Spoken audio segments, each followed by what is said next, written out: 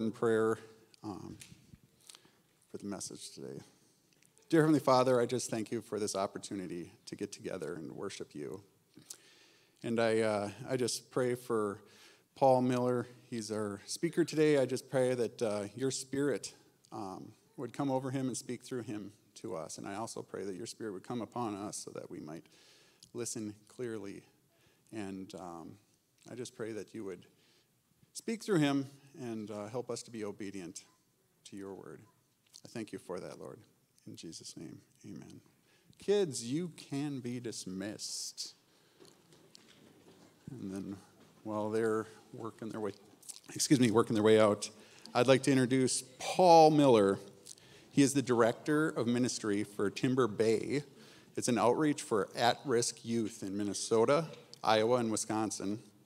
He also runs Timber Bay Emerge, which is a program for young adults in Buffalo, Monticello, Elk River area. He has been with Timber Bay for 35 years, and he lives in Waverly with his wife, Leanne, and they have two adult children. Please welcome Paul.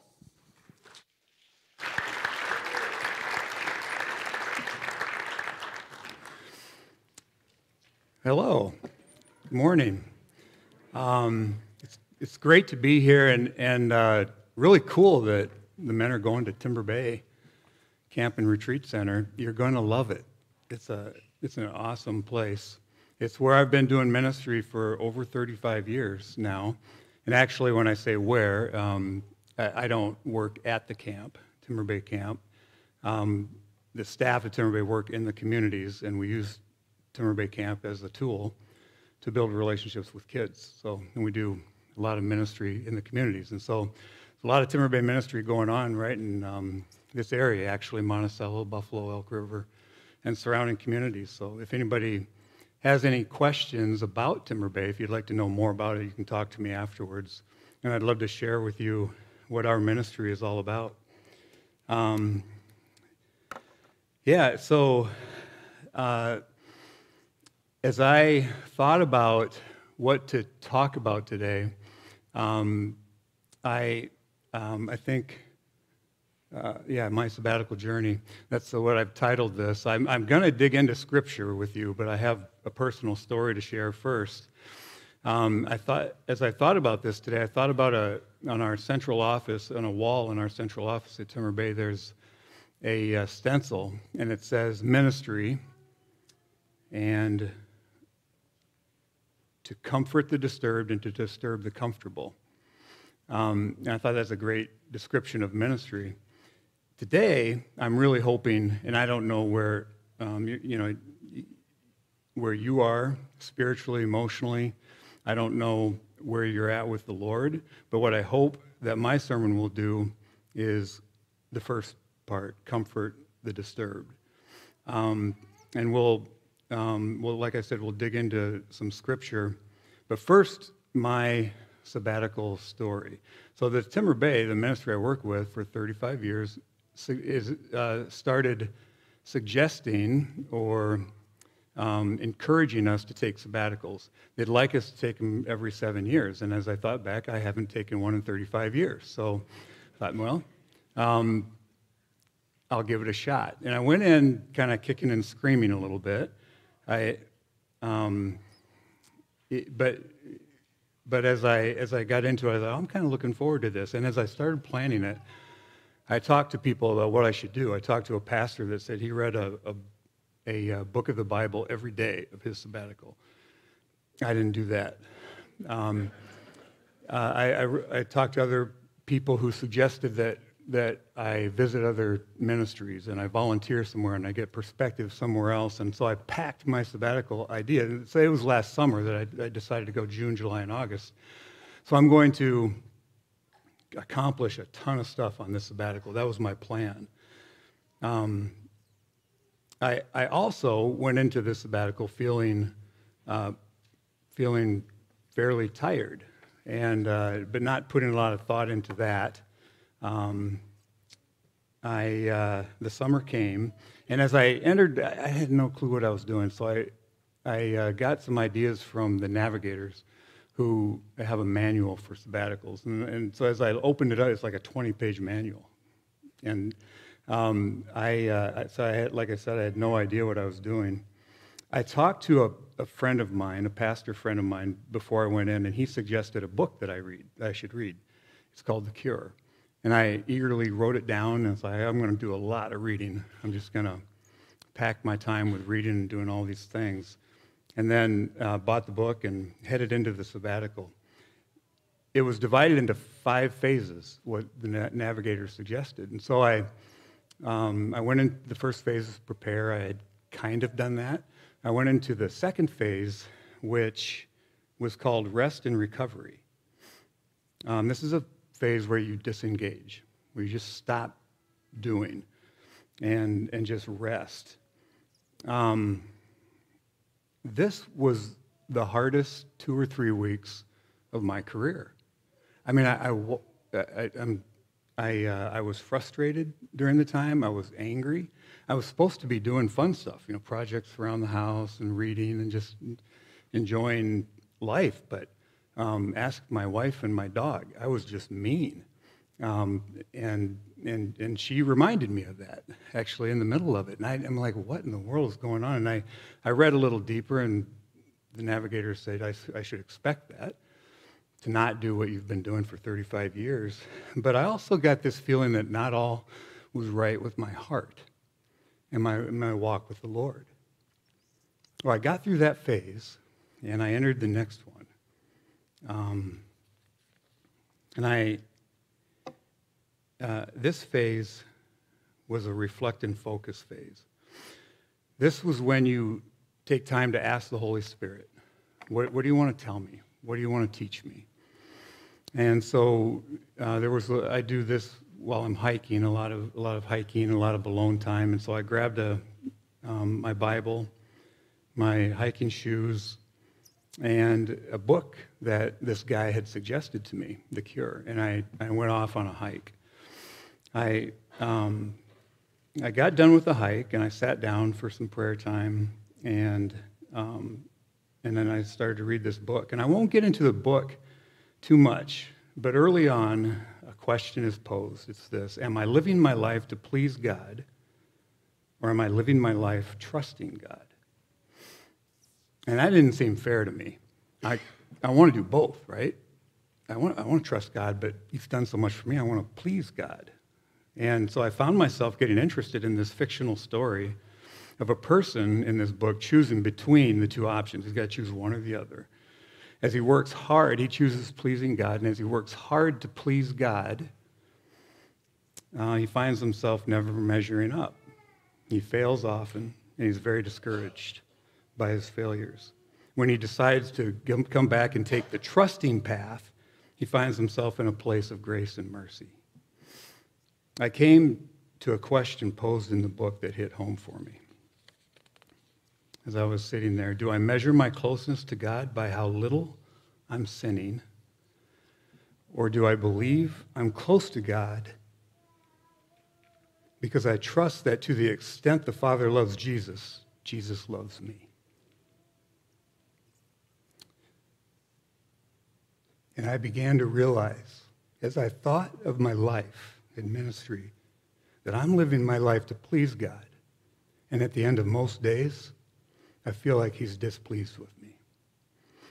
I grew up on a farm in central Iowa, and my dad would leave for the day sometimes and leave me with a list of stuff to do. And a lot of times when he got back, I didn't accomplish nearly as much as what he thought I should. And I just remember that, you know, my dad like, oh, this is it? That's all you did? Well, that's the picture I had of Jesus. At the end of the day, it's like, come on, Paul, this is all you got? And I was tired, frustrated, and feeling far from God. If I had a good day where great ministry happened, I felt like He was pleased with me. If I had a, a bad day, and, and again, it's easy to feel close to God, isn't it, during those times when things are going great and you're, you're just humming along? If I had a bad day and things didn't go well, uh, then he was far away. displeased. And I'd go to bed with the thought, uh, tomorrow I'm going to try harder. So at the end of one of these chapters, I'm sitting there reading, okay, and at the end of the, one of the chapters I was reading this book, the, it actually said, lace up your shoes and go on a hike and ponder what you've just been thinking about. And so I went on the same hike again. Now, all through this, going into the sabbatical, I had read a verse in, in Acts. It was, it was Peter's second sermon as, um, after Pentecost. And, and he actually says, repent so that God's presence will come and times of refreshing will come. And I thought of that. I'm like, oh, that's a great prayer. You know, that's just a great verse for a sabbatical. I want refreshing. I need times of refreshing. And, and in that, I had been praying for God's presence so that I could get times of refreshing. Um, I go on this hike, and I'm again I'm walking and I'm praying for God's presence. And I stopped at one point, and I'm like, "What am I doing? He's here. He's in me." And I just I stopped and I wept. And this huge cloud lifted. Now the fact that I cried is not a big deal. I tear up at the Hallmark commercials. I mean, I'm just like, I'm one of those I, I just cry. I mean, it's easy for me to cry. Um, it's, but, but at that moment, this weight just lifted off. I'm in his presence right now. Um, this is difficult for me to share, and I've shared with a lot of people. I've been a follower of Jesus for 50 years. I've been in ministry 35 in Timber Bay, and I was a youth pastor in a church before that. And I, I struggle with the fact that I didn't get this basic thing, this basic truth about God's presence and who I am in Christ. So maybe I'm the only one this morning facing this dilemma. And if that's the case, smile politely, write down some notes to make me feel good, and uh, we'll get on with our day. But if you're a follower of Jesus and you're struggling with shame, feeling far away from the Lord, let's dig into Scripture together this morning and be fre- refreshed again with who God is and who we are in Christ. Um, so, by the way, at this point in my sabbatical, my plans changed. Um, I dropped all the to do stuff. I saw that even my sabbatical was trying to please God, right? It was just trying to be trying to just accomplish stuff and be a super, super Christian ministry guy. Um, so it changed, and what I felt the Holy Spirit telling me to do was just start listening. Spend time with Him. Now, here's the benefit of a sabbatical when you're doing ministry day after day, you're reading the Bible to teach it, you might find a wonderful promise, a truth that you're going to share, and there's usually a little time to meditate, very little time to meditate and go, go deeper. In a sabbatical, um, you wake up the next morning and you listen again. It's, it's an awesome um, experience. Like I said, it's, it's difficult, um, but um, so it was a few days later that I was reading um, reading the Bible, and I was actually reading through the Bible, and the spot that I was in in the Bible was Romans chapter 7. And um, if you want to turn there with me, um, we'll start um, going into some, some scripture here. Um, at, we'll start at verse 15.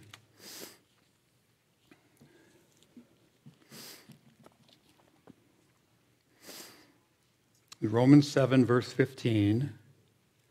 For I do not for I do not understand my own actions, for I do not do what I want, but I do the very thing I hate.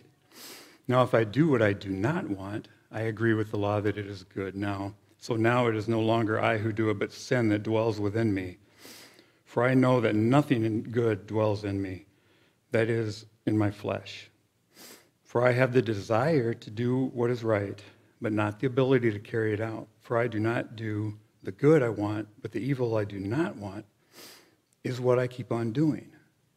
Now, if I do what I do not want, it is no longer I who do it, but sin that dwells within me. So I find it to be a law that when I want to do what do right, evil lies close at hand. For I delight in the law of God in my inner being, but I see my members another law waging war against the law of my mind and making me captive to the law of sin that dwells in my members. Wretched man that I am. Can anybody besides me relate to that line? Don't raise your hand if you don't. you don't have to raise your hand. You can if you want. Um, this word wretched, you can see, you can just feel this scripture building up to that point, right? Wretched man that I am. Um, Strong's defines that Greek word as troubled, afflicted, miserable, wretched. Wretched absolutely described where I was at. Um, it's, a, it's a great word for that description. And when I read this, the thought came to me, and I believe the thought came from the Holy Spirit, is that, Paul, you've been living in Romans 7:15 through 24. So, so let's read on.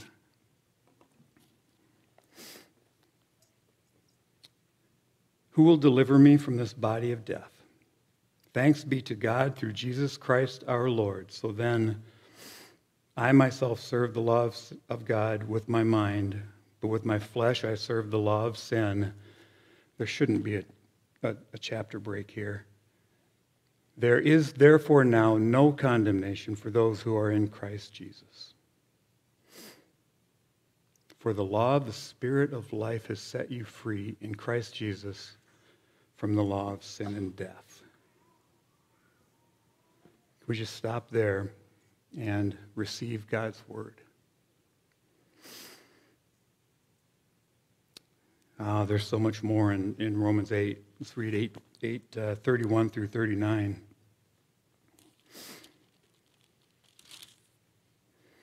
What then shall we say to these things? If God is for us, who can be against us? He who did not spare his own son, but gave him up for all, us all, how will he not also with him graciously give us all things? Who shall bring any charge against God's elect? It is God who justifies. Who is to condemn? Jesus Christ is the one who died. More than that, who was raised, who is at the right hand of God, who is indeed interceding for us. Who shall separate us from the love of Christ? Shall tribulation or distress or persecution or famine or nakedness or danger or sword? As it is written, For your sake we are being killed all day long, we are regarded as sheep to be slaughtered. No. In all these things, we are more than conquerors through him who loved us. For I am sure that neither death nor life, nor angels, nor rulers, nor things present, nor things to come, nor powers, nor height, nor depth, nor anything else in all creation will be able to separate us from the love of God in Christ Jesus our Lord. Again, we just, we just need to receive that. You might say, but I did that awful thing again. I, I just feel like God is disgusted with me. No, nothing in all creation will be able to separate us from the love of God in Christ Jesus our Lord. He is not disgusted with you, but I have doubts.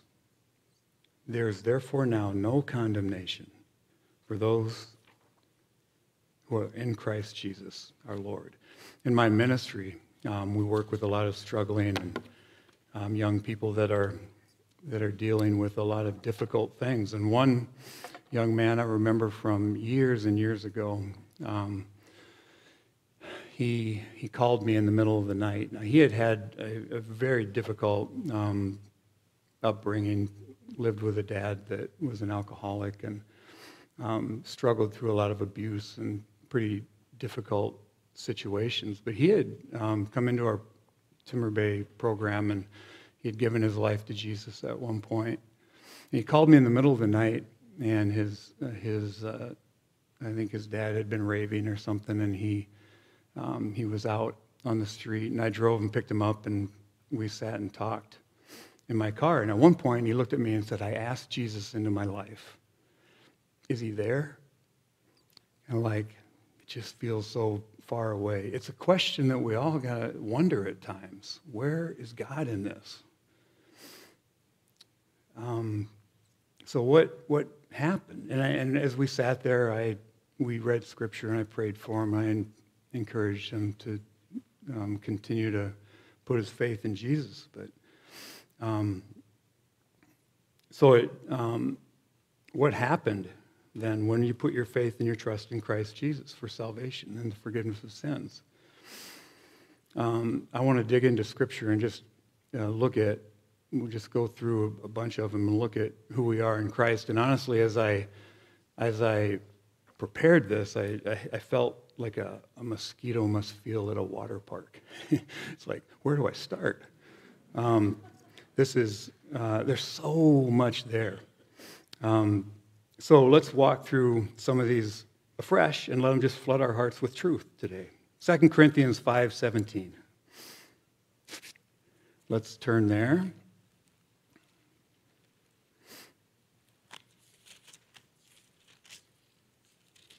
It's so good to hear Bible pages turning in our culture. Um, that's awesome. Um, 517 says, Therefore, if, any, if anyone is in Christ, he is a new creation. The old is past. Behold, the new has come. It doesn't say that if anyone is in Christ, they are becoming a new creation. It says you are a new creation in Christ. Let's go to uh, Ephesians 1 7 through 8.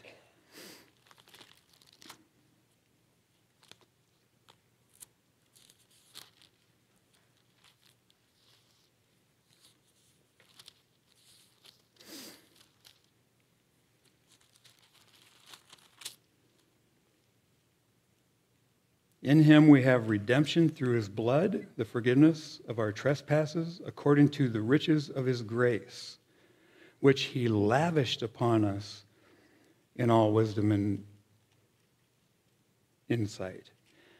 It doesn't, again, the forgiveness of our trespasses according to the riches of his grace, not the, not the effort that we're putting in lavished upon us. I mean, the word, I love lavished even more than I love the word wretched.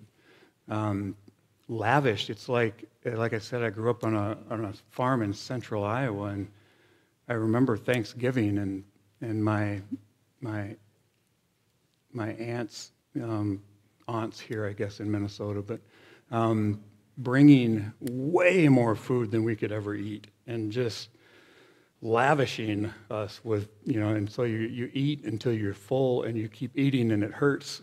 and because the food's in front of you, he lavished grace upon us. It's a, it's a gift that is overwhelmingly full and, and, and um, able to um, completely and totally save us. Our sins were forgiven. Um, let's go to Romans 3 23 through 24. If you're like me growing up in a Christian home, you probably already you probably know these by heart, a lot of them. Romans 3 23 through 24. For all have sinned and fall short of the glory of God there's the bad news, and are justified by his grace as a gift through the redemption that is Christ Jesus. The good, the good news. 2 Corinthians 5:21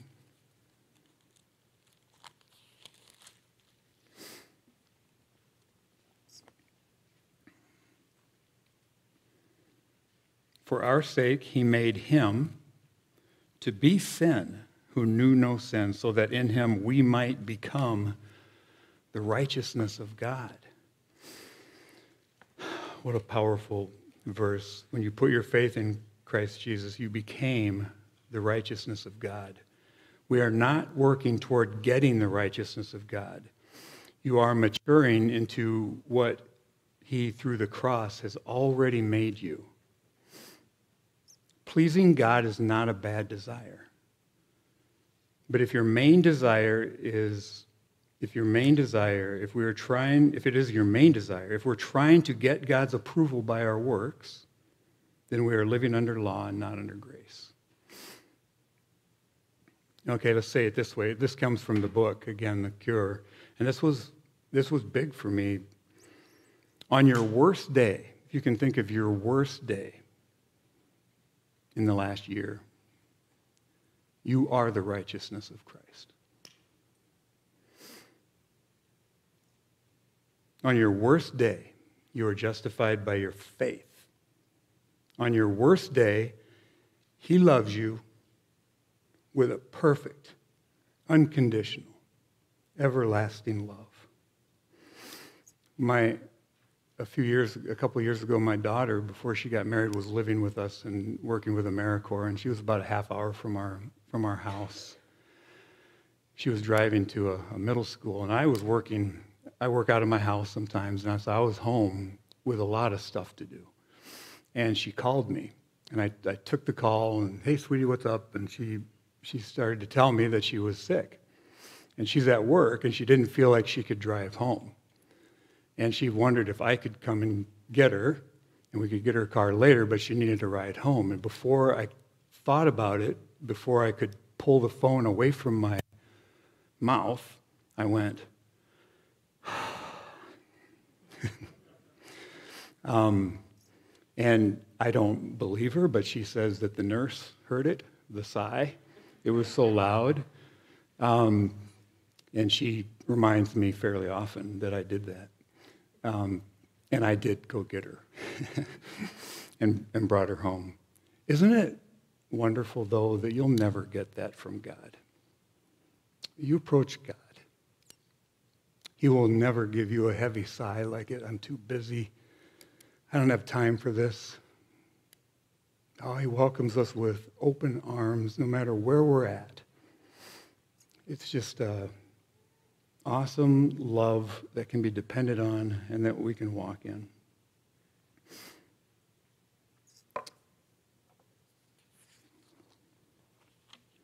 This was kind of the theme verse, Ephesians 2.13, um, that I, for this, just kind of for how I was feeling in this journey. Um, Ephesians 2:13 says this, "But now in Christ Jesus, you who once were far off have been brought near by the blood of Christ." He's not far away, he's near. He's in you. He's holding you, loving you, smiling on you. He delights in being with you.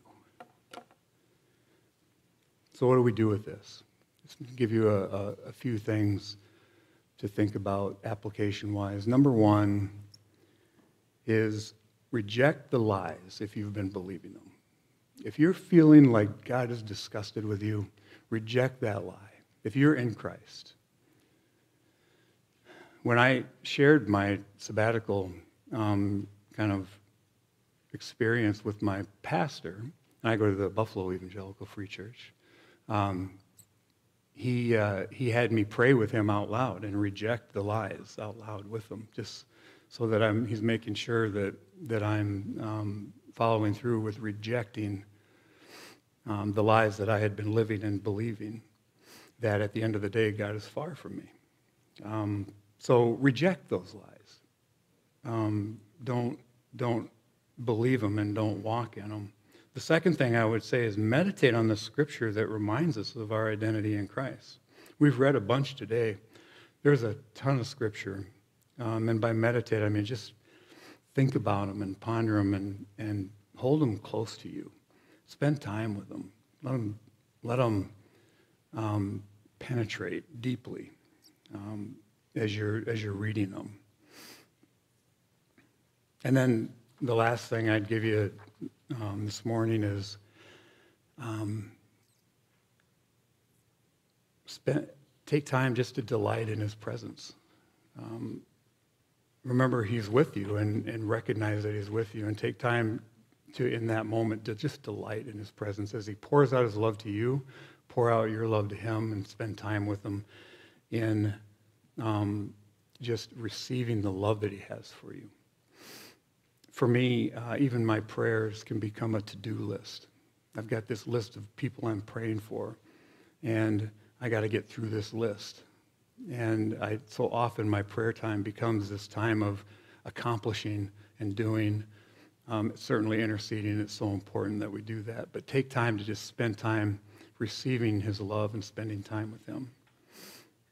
Um, rest in him as his dearly loved child. Thank you um, so much for um, inviting me to speak today and letting me share my story with you. Um, I'm grateful. Again, if anyone wants a little more information about um, Timber Bay or any other questions you have for me about this journey that I took um, last summer, um, I would love to um, talk with you after the church service. Let's, um, if you could just bow your heads as I close. I'm going to close this with a prayer, and this is a prayer from Ephesians chapter 3, verse 19, or verse 14 to 19. Uh, This is a a prayer from Paul the Apostle, and I want to pray this for us. For this reason, I bow my knees before the Father, from whom every family in heaven and on earth is named, that according to the riches of his glory, he may grant you to be strengthened with power through his Spirit in your inner being, so that Christ may dwell in your hearts through faith, that you, being rooted and grounded in love, may have strength to comprehend with all the saints what is the breadth and length and height and depth, and to know the love of Christ that surpasses knowledge, that you may be filled with the fullness of God. Amen.